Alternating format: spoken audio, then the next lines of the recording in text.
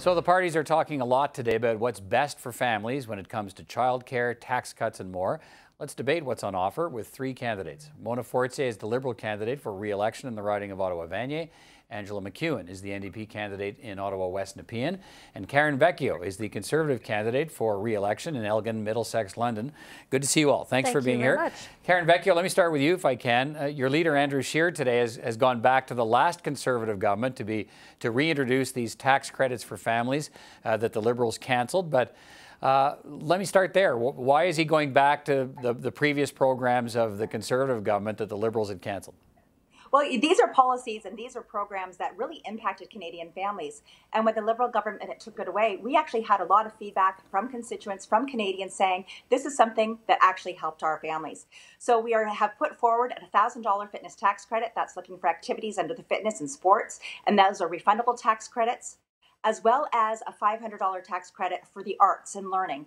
And so those are both non both refundable tax credits. So at the end of the day, there will be more money in the pockets of many parents or, or grandparents who are helping out with some of these costs. Okay, um, the, the, fiscal situation has changed since the Conservatives were in office, obviously. So one of the questions people have is, for all these tax cuts and tax credits that the Conservatives are rolling out, how are you going to pay for them?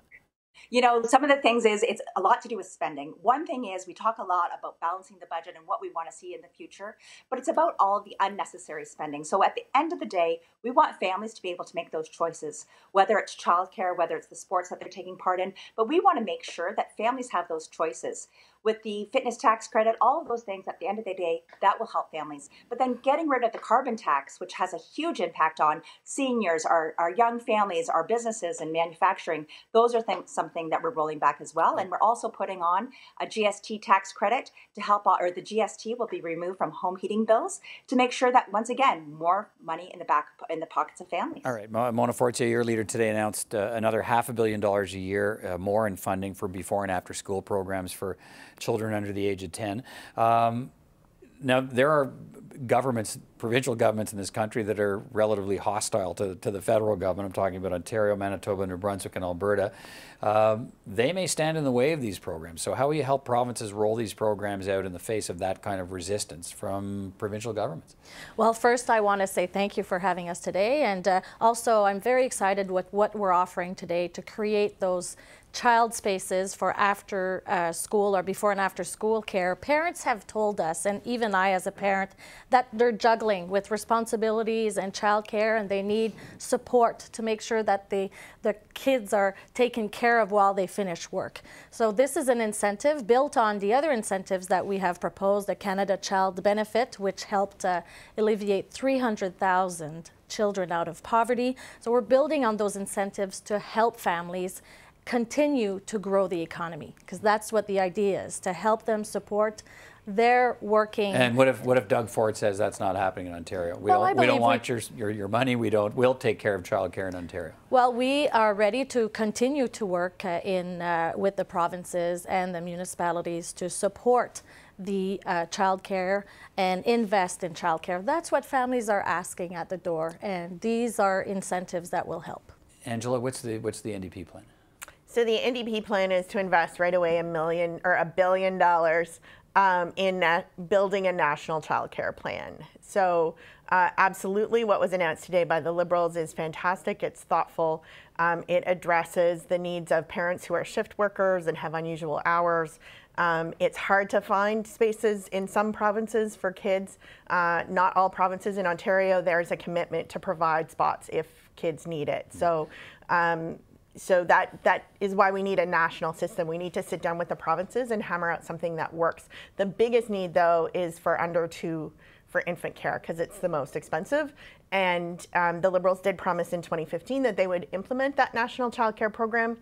Um, they haven't put the money or the resources towards the Prime Minister suggested that. today this is part of a step that will eventually get there, but we're not there yet. Well, they've been promising it since 1993. Uh, so, Karen, let me, let me let me go back to you. Um, we hear about the urgent need for childcare spaces. What, what's the role of government in that? If you, I mean, it's one thing for families to get money from from a government or tax cuts, tax rebates, credits, but how do you how do you find the spaces if if there's no money to create the spaces? How do you get around that?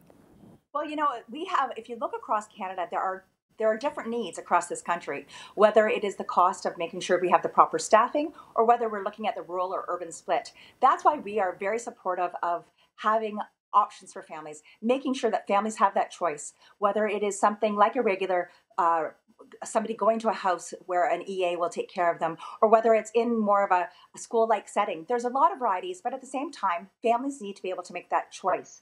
We know that there is a lot of need for this, but we need to make sure it's not a cookie cutter approach because the needs that you'll find in Langley, BC are very different than what we'll find in St. John's. Uh, so we have to be very aware of that and, and for the federal government, we have to make sure that they're actually working with the provinces, and that's something that we have not seen work out well for the last four years. So, a cookie cutter approach. So that's a bit of a straw man. How so? but There's, If you want to go ahead. No, go ahead. but No, no. that- what Hang- hang on, have- Karen, we'll come back to you. What we have right now is is provinces have put in place um, targeted spots. Um, you have spots for francophone kids. You have spots for uh, First Nations, Métis, and Inuit kids.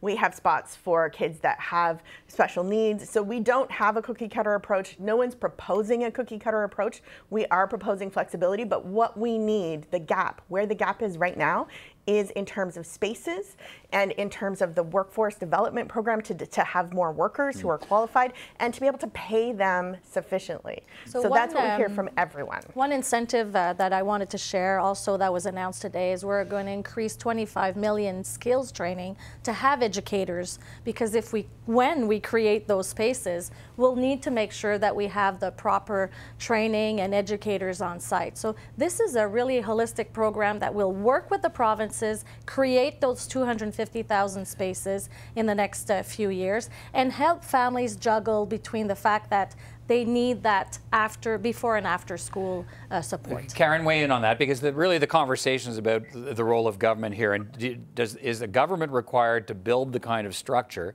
that Angella and Mona just talked about? How does that structure get built if the government's not involved in some way in delivering childcare services? Well, I think there's a couple ways of looking at this. First of all, we've talked about childcare spaces before, and we know the Liberal record that goes back to 1993, where they said that there'll be a national childcare program. But we as a party really believe in parental choice. If there are spaces that need to be built, there will be the assistance that we can do through the municipalities, through the provinces, but we need to look at what what each region needs as well. And so, like I said, trying to come up with an idea, we need to make sure that yes, there are people that will be working at nights. There'll be people working during uh, weekends and things like that. A lot of these programs that I've seen did not impact those families. I've done this for the last four years, going across the country, and I can tell you that the child care that people are expecting to get is not what this government is offering, offering, and that we have to really look at. As a mother of five, we really need to look at what is the flexibility for parents, and are they going to come out with a program that helps people through the government, but doesn't actually help the families because a lot of these families are left out. They may work shift work, they may work different things like that, and you don't find that, especially in my setting of a rural part of Canada. What's the answer We to that? could, well, we can work with provinces and see those realities that we have on the ground. One of the incentives that we're presenting today with childcare before and after school, we also mentioned that we will try to find ways through maybe community uh, centers or other uh, uh, sets to help with the families that work later or earlier. We understand that somebody doesn't work nine to five anymore. So we need to focus on their needs, and that's the program we want to settle and to put uh, towards Canadians so that we can work with the provinces and the uh, parents. Angella, what's the answer to that question? Is there is there any other way to create?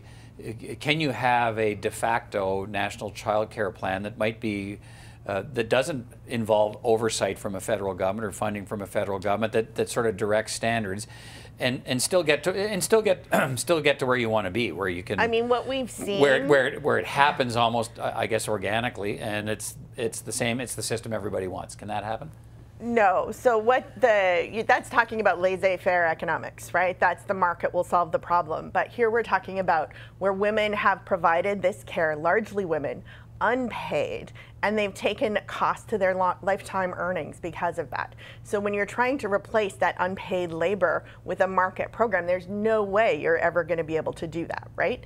And we should flip this and stop thinking about this as a cost and think about it as an investment. Mm-hmm. You're investing in those children, you're investing in the women who can now go work in the labor force if that's what they choose. and you're investing in, in pay equity. And so what we've seen is if it's a public system, if, uh, if you get the quality, you get the flexibility. If it's a private system, they're just there for profit and they, they have no incentive to provide the flexibility that we're talking about Right. that Uh, parents need. Karen, so uh, go ahead, Yes. weigh in there. What's what's what's the alternative? What to uh, your two colleagues are talking the same language, really, but what's the alternative? They're speaking, they're speaking the exact same language. Um, I, I see what they're coming out with is, is pretty much the exact same. But we have these programs for the last 25 years that people have talked about, and it has not suited the families We've themselves. not had by them. Your The government. investment hasn't we've been talked there. That's about- the problem. we- But we've talked about this since 1993, and we have not seen something. This is under the provincial jurisdiction, but ultimately, parents are part of this decision. And so, if we're coming out with a program where we're saying your children must go into this, we have to look at what's available to other families that may not want specifically that. A lot of families want to be home with their children, and that's why we put in these maternity benefits and parental benefits that are tax-free, helping families so that at the beginning of their lives, that parents can be involved as well we have to look at this as a family thing. We talk a lot about women. I was the chair of Status of Women, so of course I'm extremely supportive. But we need to see what families look like. There are a lot of non-traditional families as well, where the man may be home or it's a same-sex couple. There's lots of different things that we need to look at. So we need to make but this for you, 10 but, years, but you can build you can bu- Harper's you can build a system to uh, respond to all of those differences, can't you? It's not Well, boutique I mean- tax cuts that I believe will help families uh, the way they are right now. I believe that uh, with a robust plan to grow the economy and helping families take their, the, creating those jobs, we need to support them in the child care, in affordable housing, in different means. And I believe that the Liberal plan is the one that we can continue to move on and help those families continue to build and grow our economy. Uh, Karen, back to you, and then Angella to finish. Uh, Go, go ahead, Karen. But in this context as well, the, the, the, the Conservatives had a plan that, that gave money to families, and then it was replaced by the Canada Child Benefit. If the Conservatives get back in, what happens to the Canada Child Benefit? Does it We stay have- or is it we gone? right- said that we will continue with the Canada Child Benefit. We'll continue to make sure that it is tax free, just like the Liberals did. We had introduced programs that were universal like that before, and we'll continue doing that. But at the end of the day, it's affordability for families. So we can talk about all the money being invested, but families can't afford things because we have seen under this government such increases in spending, such increases in taxes, and at the end of the day, families are going without because of some of the mismanagement of our public accounts. Angella, quick final review. Sure, you get a bigger bang for your buck if you provide recreation centers and recreation programs more affordably than if you give tax breaks to people that could afford to shell out the money in the first place. The reason we don't have a childcare system is not because the Liberal plan failed, it's because they failed us. They didn't put the money into the system that they promised. If they had, I wouldn't have waited three years to get my daughter into a child childcare spot on a wait list. We'll, we'll have to leave it at that. Thank you all, Karen Vecchio, Angella MacEwen, and Mona Fortier. Thank you very much. And as I say to all, all candidates, uh, good luck. Thank you and, very uh, much. We'll talk See to you you in again. Take care. days. Take care. Thank you all. Bye.